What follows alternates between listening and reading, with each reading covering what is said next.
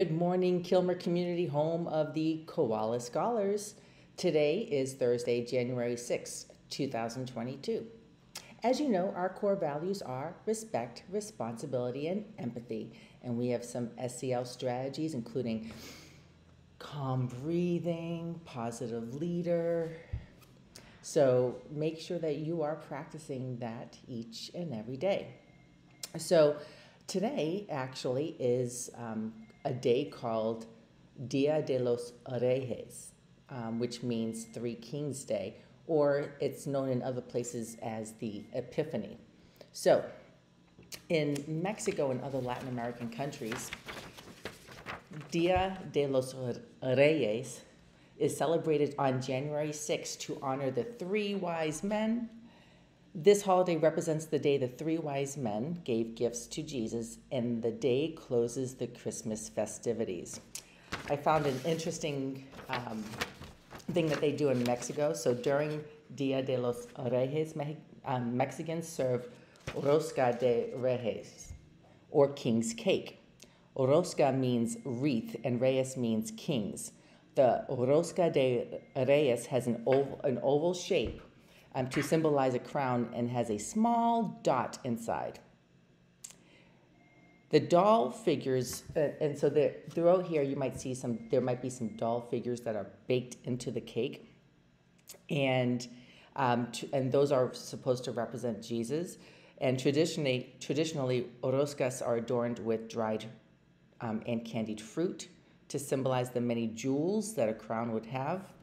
And the person who gets the slice with the doll must host a party on Dia de la Candelaria in February. So um, everyone gets a slice, but whoever has um, the, the little doll in it gets to host.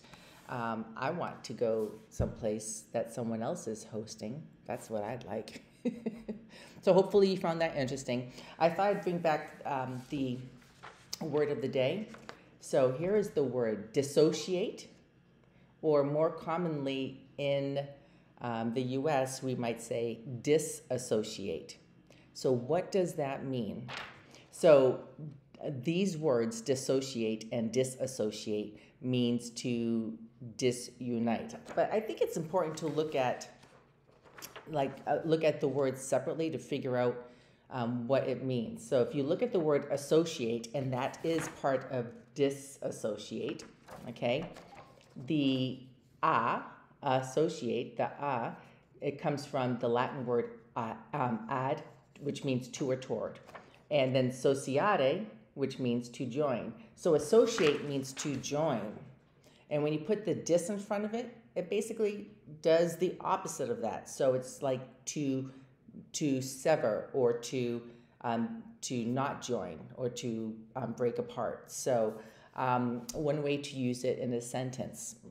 So think about you and your peers in school, and you might have many friends. Some of your friends may not make the best choices. And if you can't encourage them to make good choices and to be leaders of positive, then you might consider disassociating from them. It doesn't mean that you have to be, it means you should still be, you know, polite, but maybe you're not doing the things that they're doing or you're separating yourselves from some of that. So hopefully that helps. You can use that in a sentence um, in your writing. And um, yeah, I guess that's good.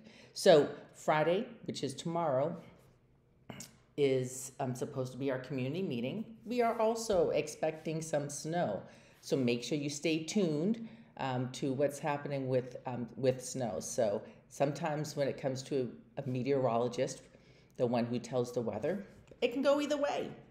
We can get lo- lots more snow than they tell us we're going to get, or we can get no snow. So what will it be tomorrow? You'll have to wait and see. All right, so on that, let's have a few jokes. And uh, I love it. So Miss Savins, you know, she says to me, um, you know, like, I understand, you know, I understood one of your jokes from the other day. I'm like, which one? Which one? What do you mean? So I have some more jokes. and I'm curious if um, if she'll get my humor. We'll see.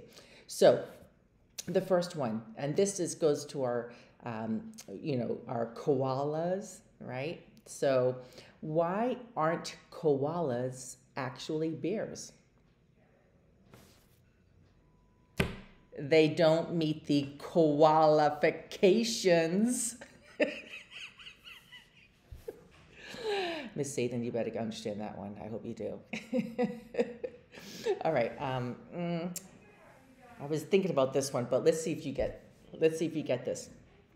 Why did the A go to the bathroom and come out as an E?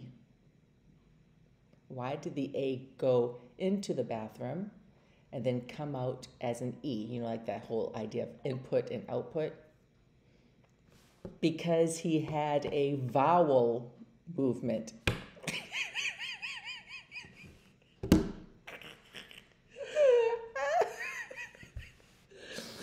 Oh, I like that one. and last but not least, why don't seagulls fly over the bay? Because they'd be bagels. All right. Okay, so as you know, you're always welcome to send your jokes my way or even riddles. Riddles are always fun too. And on that note, what do I always say? Always be your best you and make today and every day a great day. I will see you next time.